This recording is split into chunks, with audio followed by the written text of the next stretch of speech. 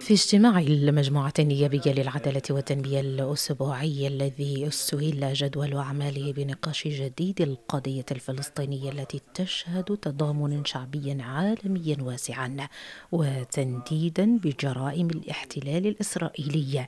حيث شارك بعض أعضاء المجموعة في المؤتمر الخامس لبرلمانيون من أجل القدس وفلسطين.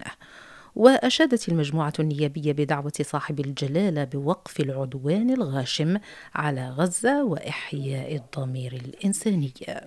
تمت الإشادة بنداء جلالة الملك حفظه الله بالدعوة لوقف العدوان الصهيوني الغاشم على على غزة.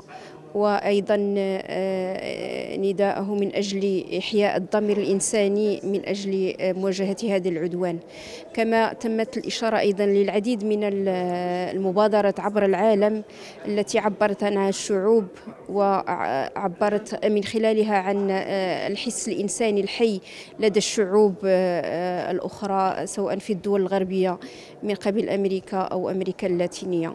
وبخصوص ما شهده اليوم الأممي للطبقة الشغيلة من ضعف المشاركة الذي اعتبرته المجموعة النيابية ردا طبيعيا على مخرجات الحوار الاجتماعي. مخرجات الحوار الاجتماعي الذي جاء مجانبا لكل التطلعات تطلعات الشغيلة سواء من القطاع الخاص أو القطاع العمومي. وأيضا آه، قضية ترحيل آه، الملف المطلبي لهذه الشغيلة.